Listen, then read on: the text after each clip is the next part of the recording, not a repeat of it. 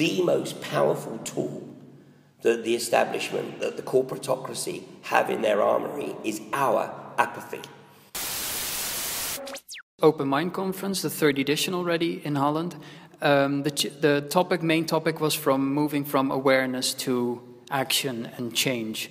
Could you share your perspective on this? Absolutely. I think that over the last um, 15 years, since the events of 9 11, we've been through an unprecedented period of people actually seeking truth. And although in a previous interview with you, I did make the observation that I didn't think that awareness or global awareness of the 9 11 being an inside job would bring about catalytic change, I do think that the events of 9 11 are absolutely catalytic in terms of awakening people's curiosity. And although it's not the only portal that triggers this curiosity and this uh, research, there's no question that 9 11 is probably the most significant global event that does cause people to question their version of reality. And once they start to realize the degree to which they've been hoodwinked on this event, then they start to look at other events. They'll start to look at more recent events like the Madrid bombing, the London bombings of uh, 7 7, more recent events like Charlie Hebdo, um, uh, the Brussels attacks. And then they'll go back into history and they'll start looking at things like the uh, Iraqi invasion of Kuwait, um, the USS uh, Liberty event, um, the Vietnam War, and even Pearl Harbor. And then once people start to join these dots and they see that they have been seriously duped, then they start to look at other things. So they start to look at the deception of things like uh, the cancer and the suppression of cancer cures and, and, um, and the development of things like chemotherapy to protect the radium industry. You know, Codex Alimentarius, this agenda that's been around since 1962 to literally eradicate all natural health care and also uh, destroy all natural farming. And this is all, of course, building up to this global corporatocracy.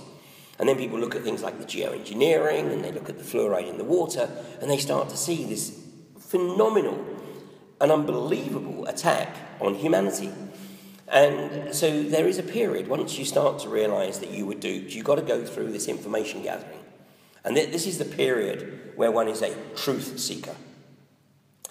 But then there comes a point where, and, and this can take many years, by the way, but there comes a point where you have to say, okay, I've now got a lot of information.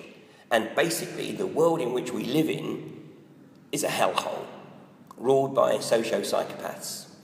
And if I don't do anything, then I'm condemning future generations to lives of unimaginable, abject misery. And, and that's, not a, um, uh, that's not just conjecture because you only got to extrapolate where we're at right now, and you can see that it, that's exactly what we're condemning them to. You know, lives of poverty, of, of serious austerity, and you know, really very little to look forward to, unless they are effectively prostituting themselves to the corporatocracy in return for the high salary or, you know, the, the trinkets that go with uh, effectively doing what your socio-psychopathic masters want you to do. So, taking from the information gathering of truth seeking, it then go, has to go to the next level. You have to graduate into activism. Now, activism doesn't necessarily have to mean sort of outright political activism.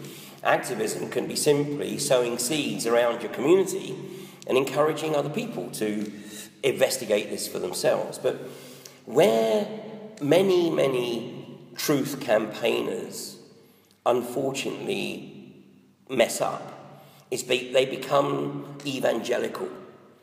You know, and they want to go, Do you realize 9 11 was an inside job? And you need to see that. And people are going, Whoa. And, and what they don't realize is that they're actually turning people off. They're actually putting a block up. And, and they're, what they're doing is they're helping the establishment to label truth seekers as the nutters, as the crazies. So, you know, we have to be smart. And, and the way that we have to do this initially is just to sow seeds. You know, to drop something in there or encourage people to look at it for themselves. You know, for 9 11, I mean, of course, the classic is Building 7. You know, it wasn't hit by a plane, and yet it was the third steel structured building to collapse, supposedly through fire, on the same day. The other two were at least allegedly hit by planes. And the BBC, of course, announcing the collapse 15, 20 minutes before it actually collapsed. So even if it's just sowing that seed, and then the Pentagon, of course, you know, no remains of a plane, plane flying in at mm-hmm. almost zero feet altitude, and mm-hmm. not a mark on the grass. So you, know, you can say to people, look at the evidence, look at the pictures, and, and just trigger their curiosity. Okay, but that's that's one related to the the information for transformation to change. You also spoke about the activism, and you have some experience with this re regarding the fracking yeah. uh, issue in the UK. Could you briefly touch upon this? Well, the, that is um, again, it's the same process. Is what I'm talking about here. Is stimulation of curiosity, because I certainly didn't go into communities. This is three years ago now, where I did a 63 day tour around the country um, because I knew I needed to prepare the country for what was coming. And so, I mean, I didn't go in there and say, you really need to take a look at what's coming here because this is going to really mess up your water. No, I went around there and I said, look, you know, this is the government agenda. It's very clear. The government wants to start exploiting unconventional gas. Let's take a look at what's happened elsewhere in the world and, you know, show them the physical evidence of what's occurred in the US and in Australia where, you know, everywhere this industry has become established, it's contaminated the, the water, the soil, and the air. So you make the observation, you say to people, you know, this is the impact it's going to have. Is this what you want for your environment? And you know what? When I was doing this, and I was explaining this to people, people would be sitting there going, oh, that's terrible. Oh, yeah, it's terrible. Really, oh, really terrible. And then I'd say, and the other effect is that wherever this industry manifests, the impact it has on property prices is catastrophic. And people go, What? My, my house price is going to fall in value? And initially, that used to frustrate me because I'm thinking, you know, well, people should be getting motivated by the fact that the water, the soil, and the air is going to be contaminated. But what's really motivating them is the fact that their property price is going to devalue. And in the end, I thought, you know what, it doesn't really matter. It doesn't matter what button you need to push to get them motivated. But once they are motivated, once they do start looking for themselves, then eventually they'll start to realize that this is something that's very important to them. And a percentage, not everyone, but a percentage will start to say, you know what, we need to do something. Yeah, and regarding this percentage, the people who are watching this and they want to um, transform their awareness into action, what would you tell them? it doesn't matter what you do. You know, and, and for some people, it takes them a while to work out how they can best contribute. Everybody has different skills, everybody has different resources, whether it's time, money, um, capability, you know, whatever. Some people are great at uh, speaking about it, some people prefer writing about it. You know, whatever, it doesn't matter. But, and it doesn't matter what the subject, I mean, we're talking about fracking here, but it could be vaccinations, it could be, uh, especially the preschool vaccination agenda, it could be uh, geoengineering, it could be GM foods. It, all of these issues need people to get involved. And it doesn't matter what subject it is you get involved, and maybe more than one, but pick up something. Because ultimately, ultimately, we're not yet at a critical mass, you know, in terms of any of these elements, but the level of awareness is growing all the time. And I'm sure many people watching this will be familiar with the hundredth monkey effect. Well, I don't know how close we are to the hundredth monkey, but we're ever getting closer and closer. And eventually, something will tip. And when we do reach that tipping point, and I don't know what it'll be on, it might be on the fiat monetary system, it might be on geoengineering, it might be on GM foods, it might be on vaccination, it might be on sort of uh, suppression of um, cancer treatment, effective cancer treatments, it might be on suppression of um, energy sources. But some, when it does come, I think it's going to be like a, the domino whichever the first domino is to fall, then the whole lot will fall, and then we'll see you know, change beyond our wildest dreams. But the, the counsel I offer is, you know, don't rush into doing something. You don't need to, you know, it's better to be going into something with a commitment that it's going to be long term than to do something for a couple of weeks and say, well, that didn't work, and then back off. Because this is a long term issue.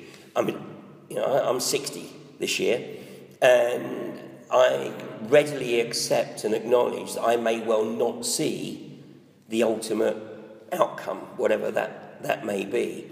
You know, the opposition work on multi generational agendas we have to work on the principle that this work could well be a multi generational campaign to oppose this horrendous genocidal and ecocidal agenda that they're perpetrating on humanity. Okay, and in the long end, last question: Are you uh, positive or uh, pessimistic about this, about the outcome? Oh, of course, I'm positive. I mean, if I wasn't, I'd go off and play golf somewhere and just enjoy, you know, the remaining time I have on this mortal coil. But, um, you know, I, I enjoyed the first 40 years that I lived on this planet, you know. Um, I enjoyed my career perversely. But there comes a point where you can no longer put the blinkers over your eyes every day. You have to say, you know what? If I don't ta- start taking responsibility, then I'm effectively contributing to the enormity of, um, of, of, this agenda that is being perpetrated on humanity by my apathy. And this is the issue for me. The most powerful tool that the establishment, that the corporatocracy have in their armory is our apathy. They don't care why we don't participate. They'll do anything to avoid us participating. They'll keep us entertained with sports and reality TV and you know um, the drugs, you know the drink, whatever. They'll, they'll do anything to keep us amused. But that's their strength. They can distract. You know, we have to step through that. So we, and it doesn't need a big percentage. Even if it's just three or four percent of the population who became determined to bring about the changes that we all know we, we need to see, then the changes will happen sooner rather than later. But I am positive in the outcome.